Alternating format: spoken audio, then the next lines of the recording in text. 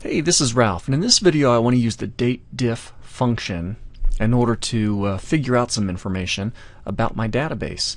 And the database I'm using here is a mock database that I certainly will make available to you. You'll find a link to it in the description uh, for the video.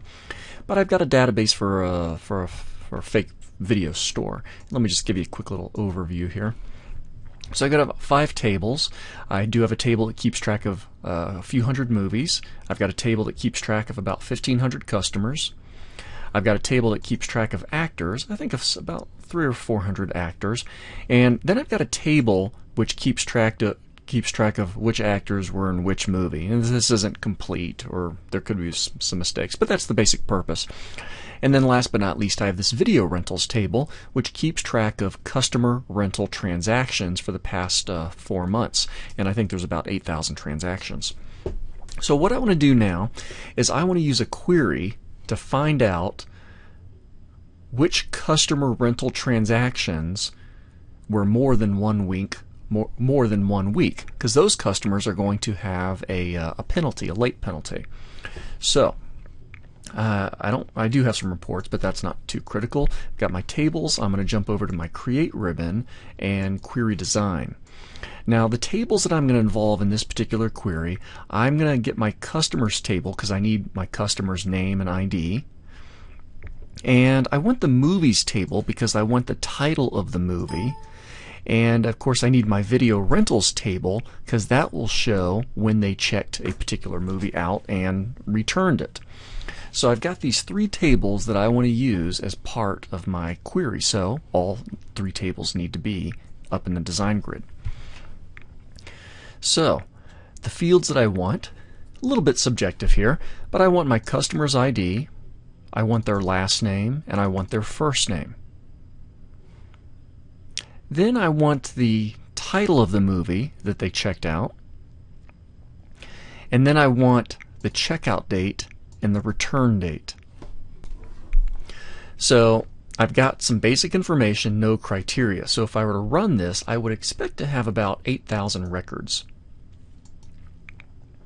And there it is, 8,000 records. And I knew that because I know that I have 8,000 rental transactions. So I've got all transactions. But I'm not necessarily interested in all transactions. I'm mostly interested in transactions that that lasted longer than one week. So back to the drawing board. I'm going to jump back over to the design view for my query. On my design grid here, I'm going to scroll one to the right and I want to put some information in this new field here. So I'm going to right click and zoom to give myself room to work. And when you're creating a new calculated query, in fact, let me change my font here a bit too so it's even bigger for you to see. I'm going to give the name of my field. My first one, just as a dry run, I'll go ahead and do um, days late.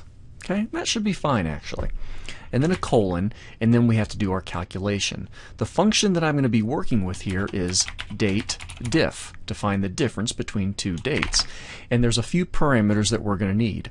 The first parameter is the values that we're going to want in here. And there's a few different ways you can write this. Uh, for instance, if I put in D for quotes. This is going to give me the number of days in between. Let's try this first. Comma, and then I need my first date, which will be my checkout date. Notice I'm putting that in square brackets. Whenever you refer to an existing database field or table field, put that in square bracket, brackets, uh, comma, and then I will put in uh, my return date. Alrighty and I know it's wrapping around here but if my font was a little bit smaller you'd see this is really just one line and this is my my function here Alright, and I think we're ready to go. This will, in theory, determine how many days in between the checkout date and the return date. I'll click OK. Just go ahead and rerun this real quick. And, and in fact, days late is kind of misleading. I can just fix that. I'll say days out for rerun that. So now it's a little bit more accurate, and we can see that, for instance, uh, Russ McNeil, customer MC0116, they had the movie Trainspotting. Checked it out on January 20th. They returned it on January 26th, so they had the movie out for six days within the week long period. Whereas Heidi Larson, had the wild the Wild Bunch checked out from April 1st to April 10th. She had that movie out for nine days, therefore her account should end up having a, uh, a penalty. Okay, but our goal for this video is really just to use this DateDiff function, and so far, so good. Now we could uh, go ahead and we could figure out, all right, well, I'm interested in days out that are greater than 7. Go ahead and rerun this, and now I'm down to just, let it calculate here, 1793. So 1,793 customers have had a movie out for more than seven days. Therefore, these are the folks that should be getting the penalty more than seven days. So there we go. So now we'll know exactly which customers had their movies out for a little bit too long, and then you could apply a, uh, a late charge to those particular customers, whether it was the rental rate again, or maybe it's just an extra $5 or something like that.